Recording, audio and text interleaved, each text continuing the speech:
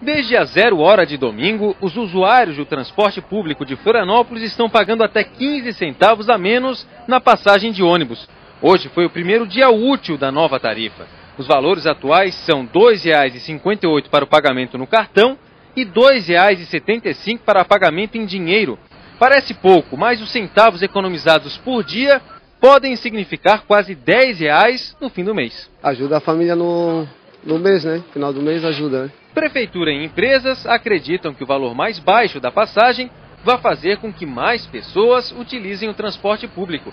Dessa forma, e com o aumento do subsídio repassado pela administração, todo possível impacto econômico negativo será compensado. Verdade, as empresas obedecem à determinação da prefeitura. Né? O prefeito tomou a decisão de reduzir a tarifa, o que para nós é, é, importante, né? porque com isso a gente até imagina que mais passageiros virão ao sistema para utilização. Hoje foi também o primeiro dia de cadastramento para tarifa social e gratuidade para estudantes no transporte coletivo de Florianópolis.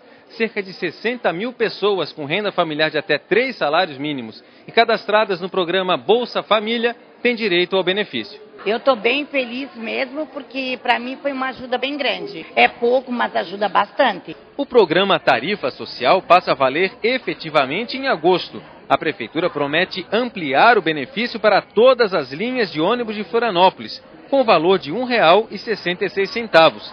Já os estudantes inscritos no cadastro municipal de assistência social terão passe livre no deslocamento casa-escola-casa é algo inédito. Estudante em Florianópolis não vai pagar mais transporte público. Estudante que é cadastrado no Bolsa Família é uma política pública para que ele possa ter acesso à educação sem ter que pagar, sem ter que desembolsar o, o, valor do transporte público. Quanto a possíveis novas paralisações, o Sindicato dos Trabalhadores deve se reunir hoje à tarde com representantes do Tribunal Regional do Trabalho na tentativa de um acordo.